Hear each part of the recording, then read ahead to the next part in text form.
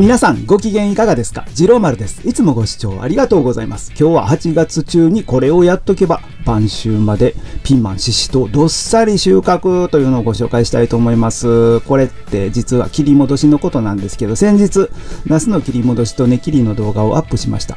え異常な高温のせいなのでしょうか？切り戻しした途端、あっという間に復活の兆しですね。美味しそうな秋ナスができそうな気がしております。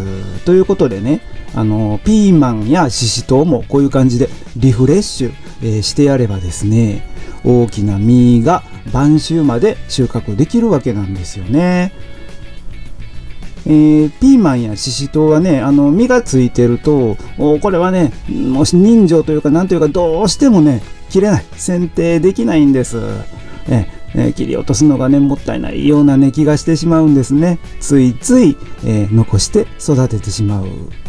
ということでね、あのー、全部残してしまうとですね、これはまた小さな実ばっかりいっぱいいっぱいできてですね、で、えー、大きな実があの全然育ちません。なんかピーマンかプチトマトかわからんようなね、そんなばっかりになってしまうんですね。そこで、えー、静止、ね、枝切りをするのですけれども、えー、これはあのセオリーがありまして内側の、えー、側枝を切ります。で風通しを良くしてあります、えー、二股に分かれた、えー、側枝の内側を切り落としてやればいいんですね。で枝を半分ぐらいのサイズサイズじゃないな。量にすることで、ええー、風通しが良くなる。花や実がついててももったいないけど、えー、バサッとこう切り落としてしまうことでですね大きな実が育ちます。少数精鋭というわけですね。ただね、あのー、もう夏真っ盛りを迎えるとですね、えー、ナスと同様、なり疲れが出ます。えー、葉の勢いが弱くなったり、実の艶が悪くなったりですね、えー、で、あの肥料や水はね、足りていても、やっぱりどうしてもね、あの夏バテが出てきます。えー、静止していてても、えー、追いつかなくなってくるわけですね。そんな時は思い切って枝打ちですよ。枝打ち。えー、そう、ナスのようにね、切り戻してやるのです。えー、根切りの方はね、様子を見ながらやりたいと思うんですけれども、実はあのピーマンやシシトっていうのはナスのようにね、あの根が強くないんですよね。えー、だから天気が安定してたら根切りも考えましたけれども、えー、こちらはね、近畿はあの台風7号が直撃するということなのでね、ちょっと根切りは、え延期します。ええー、で、えー、根切りの要領はやり方はナスと同様なのでねできそうならやってみてください。ということで、えー、とまずね、あの下葉はこうやってかあのもういらんのでね、全部取っちゃいます。これね、最初取ってても後から後からまた生えてきよるんでね、見つけるたびに取っていけばいいと思います。で、どんどんどんどんね、すっきりさせていきますね。で、えー、できてる実はね、あの先に収穫して、しまいましょう。あ、これね、万願寺ですね、いいのができてました。えー、余談ですけどこのね腕時計、えー、今どっか行方不明中なんですよミッションインポッシブル3でトム・クルーズがですねあの着用してた、えー、なんと同じモデルなんですよね G ショックブラックフォースいうやつですわもうわしの家宝なんですけどね、えー、家かの器具小屋のどっかにあると思うんですけれども、えー、G ショックだけに GG ショック。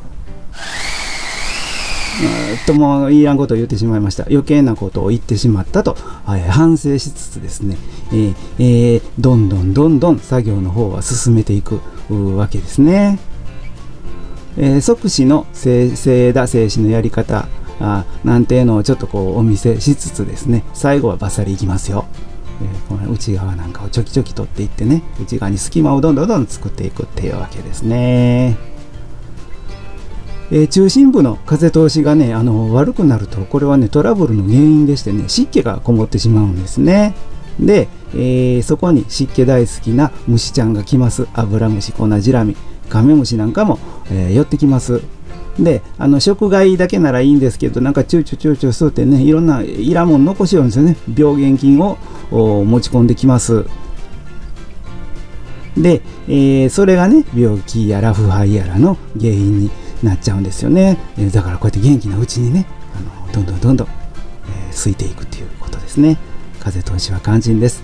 えっと、これくらい切るとね、風通しっていうのは確保できてると思うんですけれども、さらに、さらに切り進めますよ、今回はね。えー、バチッといきましょう、バチッと。えー、大胆かつ繊細に。と言うよりも、思いっきりね、思いっきり切ったらいいだけのことなんですよね。あの、何も考えることも選ぶこともないです。バチバチバチバチ切っていきます。で、えー、こんな具合にね、あのしてやるんですね。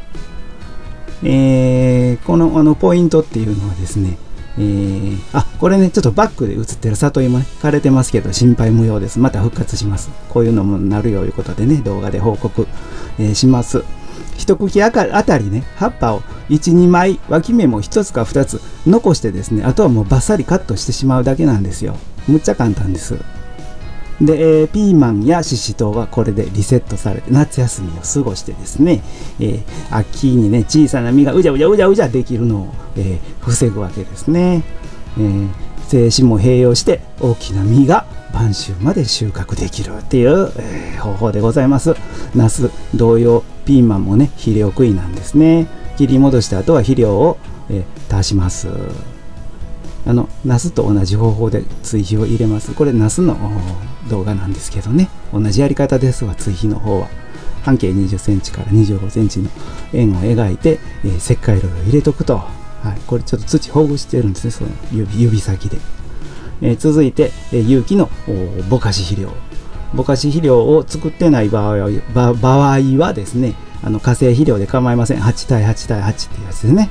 これを 50g 程度一茎 50g 程度入れてあげてください。根をいたわりたいので深く道具を使ってすき込まず、え土を手でかぶせる程度にしておきます。